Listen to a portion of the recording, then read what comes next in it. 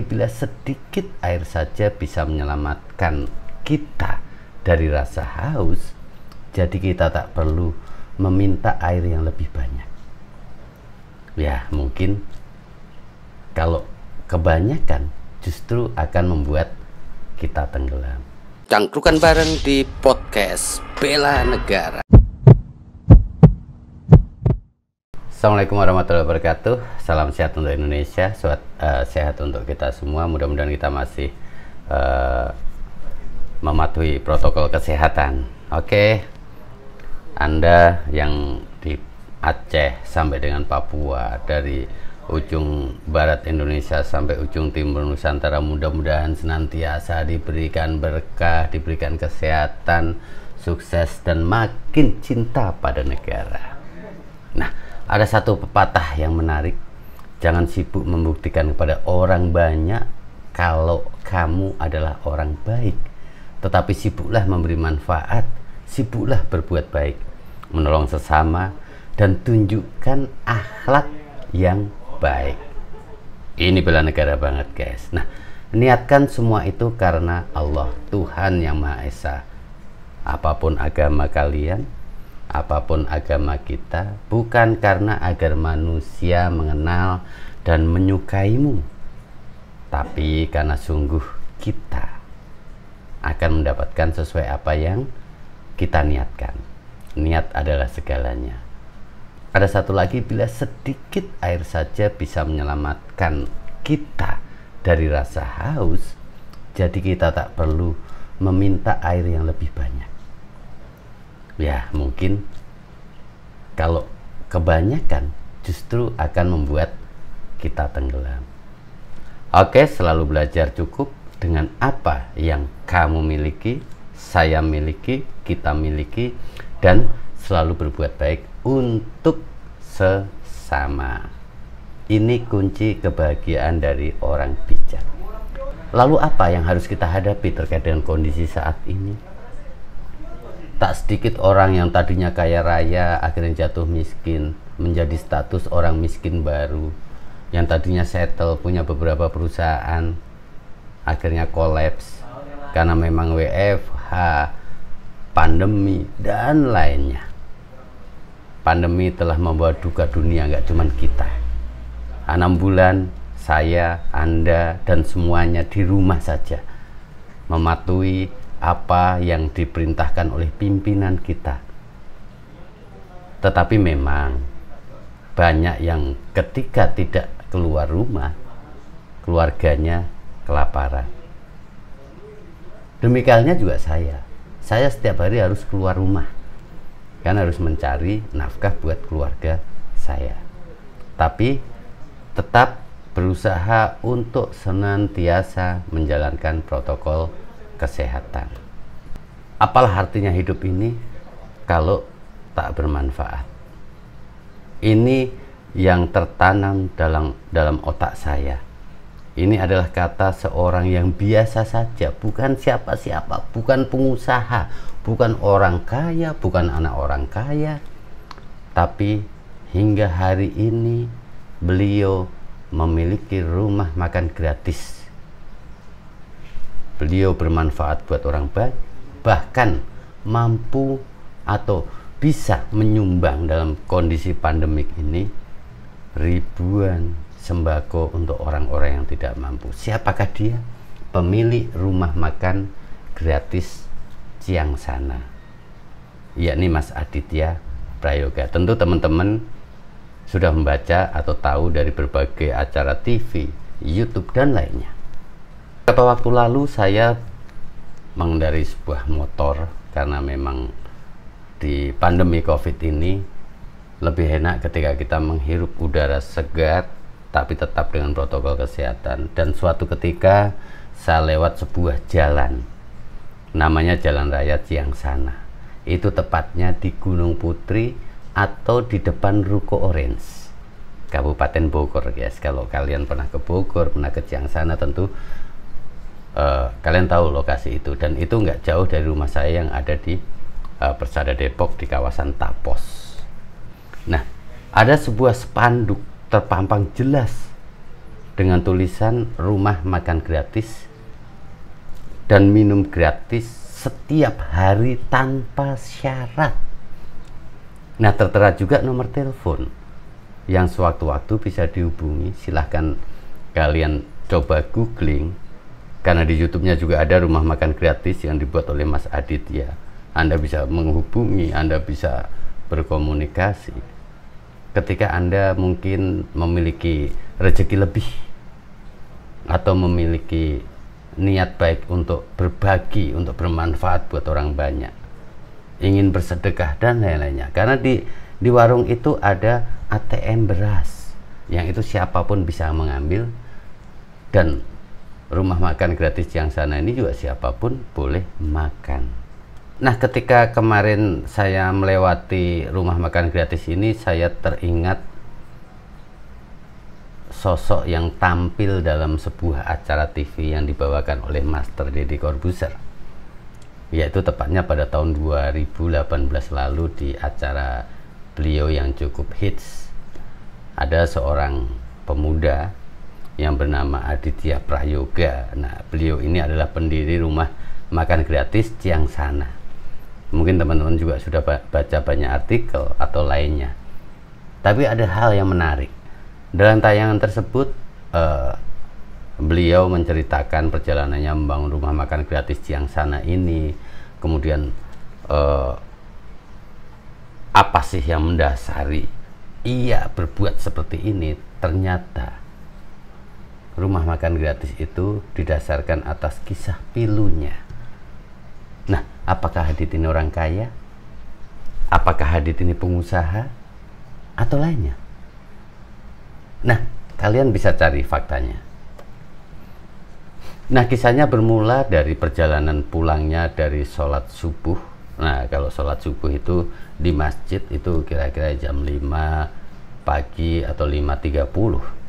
Nah, ia berjalan kaki kemudian bertemu dengan seorang nenek-nenek yang usianya sudah cukup tua. Beliau menyampaikan usia nenek itu adalah 92 tahun dan dalam kondisi sakit jalannya pincang. Nah, beliau kemudian menyapa dan akhirnya beliau memastikan apakah nenek ini bohong atau tidak dengan melihat kakinya yang pincang. Ternyata kaki nenek itu adalah bolong dan dalam lubang-lubang tersebut ada ulat-ulat kecil. Artinya apa? Nah, teman-teman bisa membayangkan, teman-teman bisa uh, menilai artinya apa. Saat itu uh, beliau Aditya ini hanya memiliki uang 20 ribu.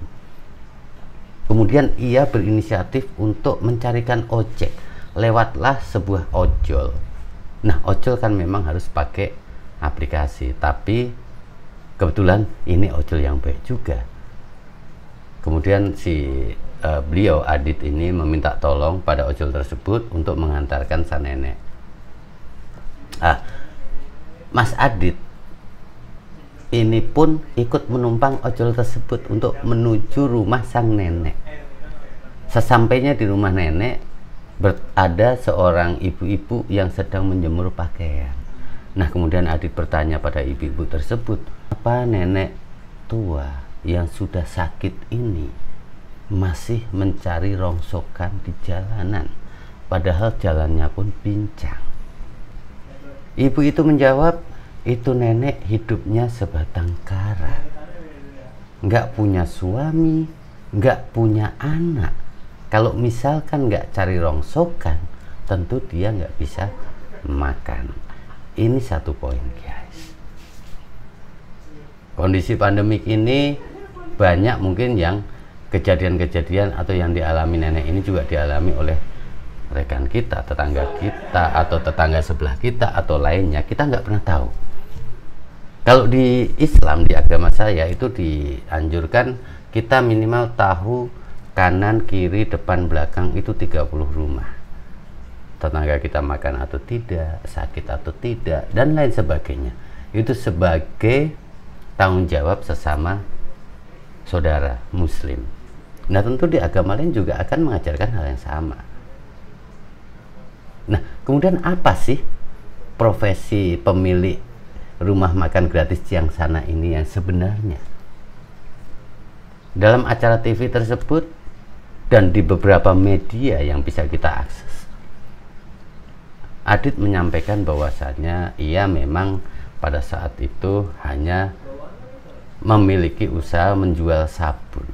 Kemudian juga membantu adiknya untuk berjualan baju.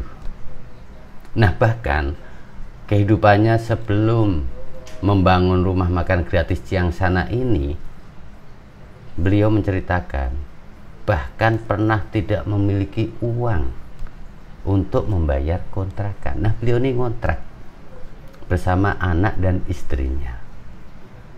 Nah, kembali ke rumah makan gratis yang sana. Adit memulai sedikit demi sedikit sambil meyakinkan sang istri yang pada saat itu memang menentang atau tidak setuju kan atau ragu.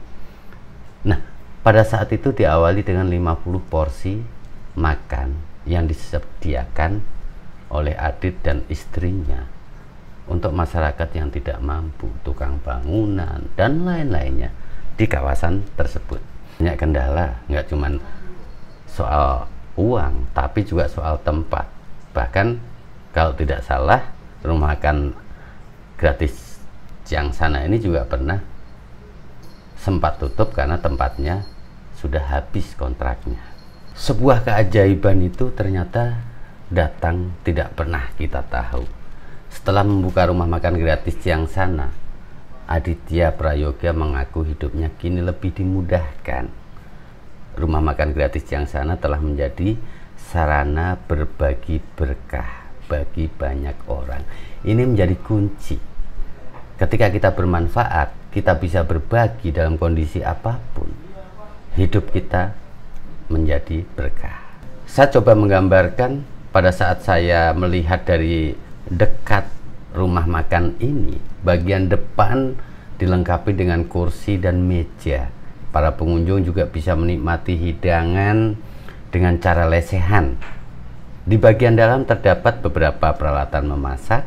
Di ruangan inilah lima pekerja dan sekarang mungkin lebih meracik makanan yang dipesan pengunjung. Semua gratis, tanpa syarat. Konsepnya uh, menurut beliau Mas Aditya Prayoga ini adalah prasmanan dengan berbagai jenis menu seperti ikan asin, sayur kangkung, dan gorengan. Menu ini selalu berubah agar pengunjung tidak bosan. Guys, gratis tapi tetap memikirkan agar pengunjung tidak bosan. Ini menjadi kunci lagi ketika kita berbuat baik jangan tanggung-tanggung. Dan ini adalah bela negara banget. Rumah makan gratis ini konsepnya adalah sedekah. Nah ini terbuka buat siapa pun.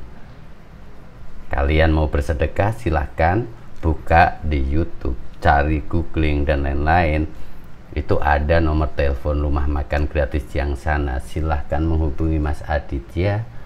Dan tentu memang kita harus ikhlas dan totally untuk melakukan kebaikan. Ditegaskan juga di berbagai kesempatan Mas Aditya ini selalu bilang, walaupun ini rumah makan gratis dan konsepnya sedekah, tapi tidak pernah beliau dan tim itu meminta-minta sumbangan ke jalan pakai proposal atau kota infak beliau tegaskan lagi di sini nggak ada begitu. Kita nggak mau kalau misalkan ada yang menyumbang tapi nggak ikhlas. Lebih baik nggak usah. Nah dari sini guys dari beberapa yang sudah saya sampaikan tadi kalau mau lihat ilustrasi video dan lain-lain ada rumah makan gratis yang sana. Itu ada di YouTube kanalnya. Silahkan ikuti. Bahkan terakhir saya ikuti beliau sudah membagi-bagikan sembako ke sekian banyak orang di tengah pandemi COVID. Nah, apa yang bisa kita ambil dari kisah ini? Siapa pun kita, apa pun yang kita lakukan, sekali lagi, apa pun yang kita lakukan, dan tentu dengan tulus,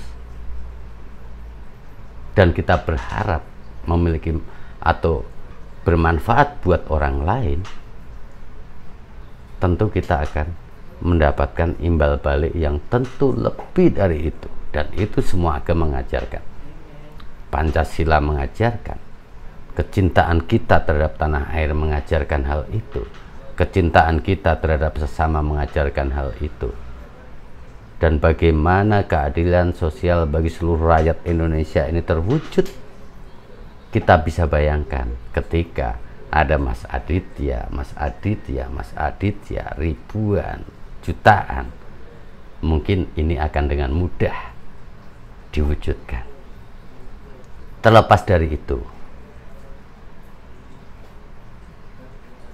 in my opinion atau dalam opini saya, apa yang dilakukan Mas Aditya pra, Prayoga melalui rumah makan gratis sana ini bela negara banget guys. Terlepas dari memang uh, beliau menjalankan amanah atau uh, yang diyakini dalam agamanya. Kenapa? Bela negara adalah terkait dengan sikap dan perilaku kita yang baik. Mulai dari kita bangun tidur, kemudian tidur lagi. Bermanfaat nggak cuma buat diri kita, tetapi buat orang lain, keluarga kita juga, orang lain, tetangga kita, sekeliling kita. Kalau bisa untuk rakyat seluruh Indonesia ketika kita mampu. Oke jadi tetap positif tetap optimis. Di masa pandemi ini apa pun yang menurut kita baik walaupun memang buat kebanyakan orang belum tentu baik setiap kebaikan pasti ada tantangan. Demikian halnya kebalikannya setiap keburukan pasti banyak juga rintangan jadi kita harus memilih mau yang baik atau buruk buat kita, buat hidup kita, buat keluarga kita, buat orang sekitar kita, dan buat Indonesia. Inilah ujian kita di masa pandemi, bagaimana kita mencintai negara kita, bagaimana kita berpartisipasi dalam mengen, uh, menyelesaikan masalah yang ada di negara kita ini, kembali kepada diri kita. Ayo bela Indonesia aku, karena Indonesia rumah kita bersama. Assalamualaikum warahmatullahi wabarakatuh. Cangkrukan bareng di podcast Bela Negara.